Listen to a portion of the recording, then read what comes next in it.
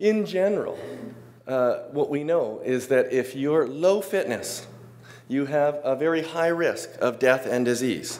And if you're at high fitness, you have a very low risk of what you might ask? Untimely death, coronary vascular disease, hypertension, stroke, metabolic disorders, type 2 diabetes, improved bone health, impaired mental status, impaired cognitive uh, ability, pardon me, impaired bone health, some cancers, and impaired joint health. This is level one and level two evidence.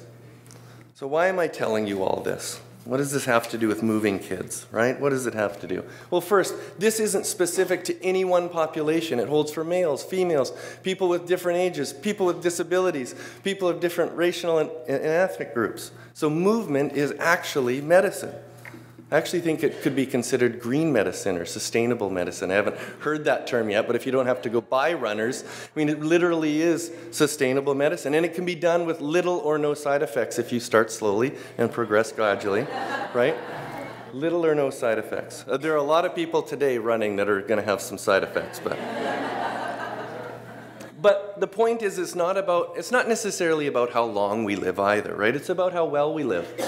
So, I'm not going to graph you to death. This will probably be my last little figure, but, but there's a theory called the compression of morbidity. A guy named Fries, ironically, from Harvard, proposed this in 1980. It's true. Um, and, and what he, I'll tell you what the compression of morbidity is all about. Basically, we, we, we all are born free from disease with no morbidity above the green line, and we all have to die, right? And, it, and as we age, our lifestyles have an impact on what happens to us. So if we're physically inactive, the, as the theory goes, and it's been supported by numerous studies, is that if we're physically inactive, we spend a, a large part of our life in morbidity, right? It's, my grandma smoked for you know, 50 years and drank whiskey. Yeah, but did you hear every morning for the last 30 years? That, you know, so the, the idea is that, yeah, this person could live, but they're going to live with a low quality of life, diseased, probably, and it's uncomfortable and it's expensive.